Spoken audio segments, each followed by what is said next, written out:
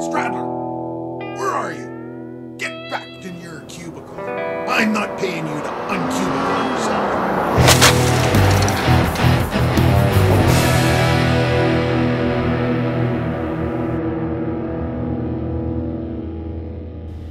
Hey friends.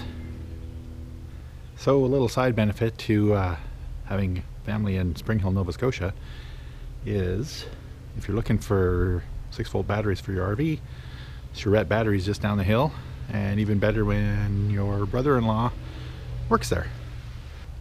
He doesn't get an employee discount but he got me online with what they call BLEMS which is short for blemished and uh, they're about half the price of the regular batteries so we did a little upgrade.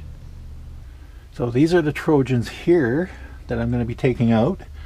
Um, they've been pretty good to me. I have no complaints.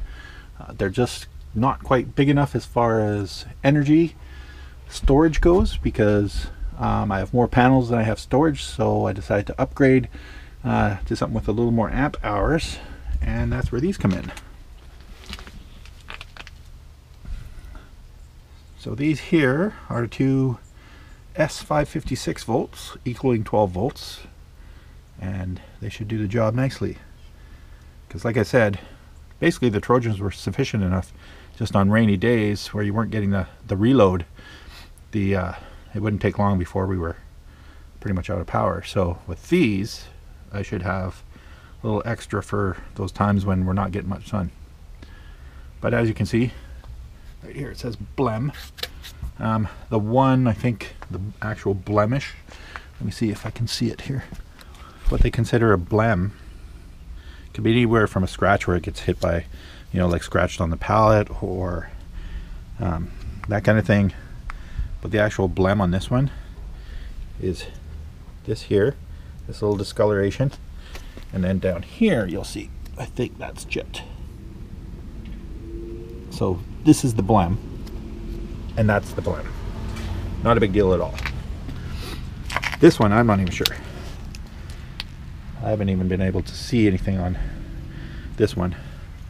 So today I'm going to take these Trojans out and we're going to uh, pop the new ones in. Get them all set up and kind of test them a little bit before we go.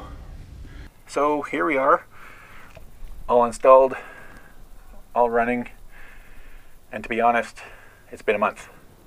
I decided to do a little real world testing before posting this video. So we gave it uh, uh, the first month on, on the road. Now, this charge controller here, we figured out that it is a bit of a bottleneck. What's going on is I have more wattage in the solar panels, a total of 780 now with the ground one deployed. Um, and the charge controller is only 40 amps. So basically it's more or less fit for about 500 watts and doesn't know what to do with the other 280. So with the bigger batteries, it's more or less, from what I understand, downgrading to like a trickle charge. So um, on the advice of one of the RV guys, um, we figured out it might be an idea to just add in a second charge controller for the ground deployed panel um, let the 500 watts on the roof use this one, and then we'll do another one for the third panel.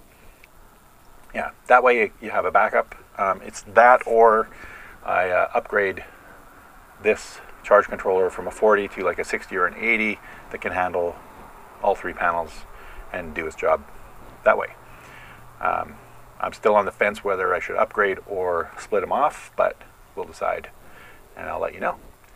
So other than that, the batteries are holding a charge good. Um, when they are full, they last quite a while. To be fair, we actually haven't even had full sun um, on all three panels for any length of time in the past month. Um, I did get some sun at Tate's Hell, which is a video that will be coming later. Um, but the uh, where we were parked, we were kind of shaded, so it didn't get full sun on all three panels for you know four or five hours like it should during the day. So that said, I'll do a little update on uh, uh, what I decide and how it works a little later on. All right, um, that's about it. Talk to you soon. Cheers. It's like working with a monkey.